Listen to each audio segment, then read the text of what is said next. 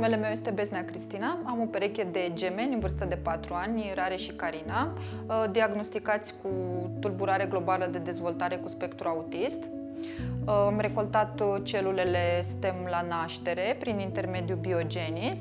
La vârsta de 2 ani am constatat niște diferențe din punct de vedere comportamental în ceea ce privea vârsta de dezvoltare a copiilor mei comparativ cu vârsta de dezvoltare a altor copii din jurul nostru.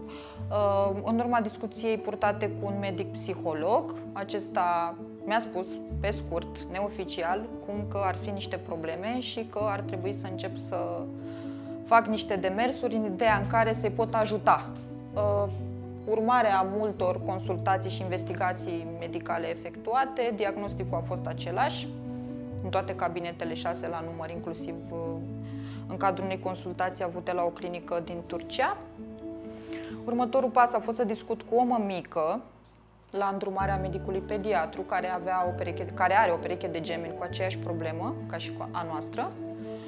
Concluzia a fost că un transplant cu celule STEM ne-ar ajuta. Am luat legătura cu doamna Vera, iar dânsa m-a pus în legătură cu medicul specialist care s-a ocupat și de transplant în luna martie undeva în București.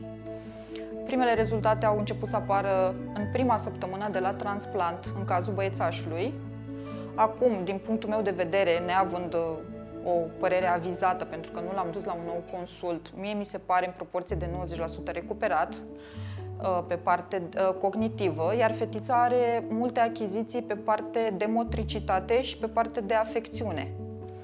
Undeva în luna octombrie, probabil, vom face o nouă consultație la domn dr. Felician să vedem ce decide dânsul în cazul lor. Noi ne-am dorit un nou transplant pentru că rezultatele sunt vizibile și vreau să-i ajut cât de repede pot, să îi aduc într-un stadiu de funcționalitate de măcar 90%. Iar sfatul meu pentru viitorii părinți este să nu ezite să recolteze aceste celule STEM dacă au nelămuriri să facă bine să se informeze în centre specializate și autorizate și pentru cei care au deja celule recoltate să nu ezite să le folosească pentru că fiecare zi care trece poate fi foarte importantă în recuperarea copiilor afectați de autism.